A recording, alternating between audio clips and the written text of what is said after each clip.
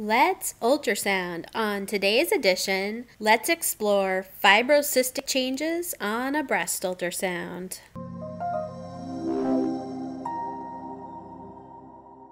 Let's talk about a common benign condition that can occur in the breast. This is known as fibrocystic changes. And these are benign changes that occur in the breast that may or may not produce symptoms. And it's estimated that this affects 60 to 90% of all women sometime during their lifetime. And this is associated with hormonal changes to the breast tissue. And there's four changes that are occurring to the breast tissue. Number one is fibrosis, and this is where the stroma proliferates. Change number two to the breast tissue is adenosis. And this is where the lobules of the breast enlarge. Change number three is hyperplasia. This is where the epithelial cells within the ducts proliferate. And change number four is cysts. There's focal dilatation of the milk ducts, and generally, with fibrocystic changes, you have multiple cysts of varying size throughout the breast tissue. And just a little breast anatomy review there's two basic categories of breast anatomy. Number one is stroma, and this is the supportive tissue of the breast. This is the fatty tissue plus the connective tissue.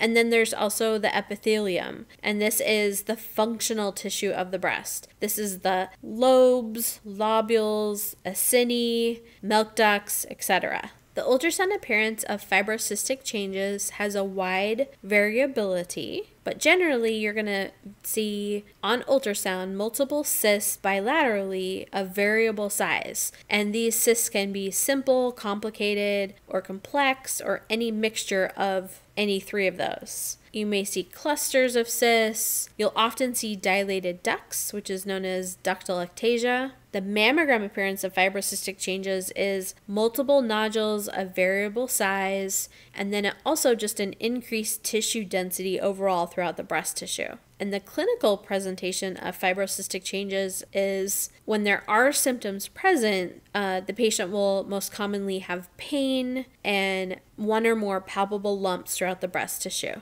The ultrasound image on this slide represents the classic ultrasound appearance of fibrocystic changes. And this is multiple cysts of varying size and varying complexity visualized within the breast tissue. The other image is a schematic which demonstrates the normal breast with its ducts and lobules and lobes compared to the fibrocystic breast where you'll see that these lobules are enlarging, producing multiple cysts of varying size throughout the tissue. And this schematic is from the Mayo Foundation for Medical Education and Research.